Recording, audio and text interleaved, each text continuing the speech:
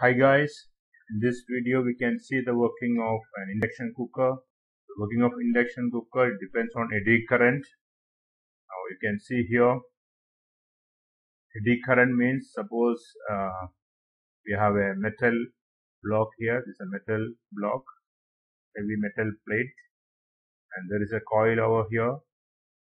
When a current means alternating current AC passes through the coil, it will create a varying magnetic field and this is the varying magnetic field created by the flow of alternating current in this coil. And that uh, variation in magnetic field will induce a current in this heavy metal block. According to the Faraday's principle whenever there is a change in magnetic field it will induce a current. But since this metal block is very thick one and always current always choose low resistance paths so it will make many loops of current like this one, many circles, many loops of current will be formed in the metal block. And since this metal block is very thick, it has very low resistance, so this current will be very high. And that current induced in this metal block will heat up the metal and it will get heated up very fast. This principle is used in induction cooker. Now we'll see the working of the induction cooker in detail. Okay, this is an induction cooker which we commonly use in our kitchen. If I open this outer cover of this induction cooker, you can see inside the main working part of this cooker is a coil. This is the copper coil which provides a varying magnetic field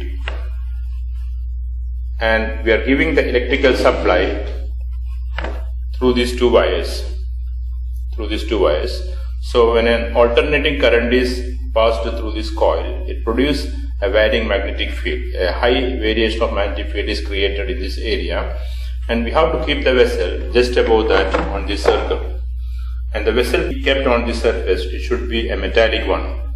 So eddy current will be induced in the metallic vessel itself and it will get heated up. And that heat energy we can make use for cooking the food.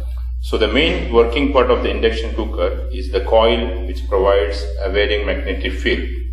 Another part of this coil is a fan which is used for cooling this coil and also there are some switches for adjusting the heat energy, adjusting the temperature of the uh, vessel which is produced due to the variation in magnetic field. So this induction cooker it is working according to the principle of eddy current, which is produced due to the variation of magnetic field in the metallic vessel itself.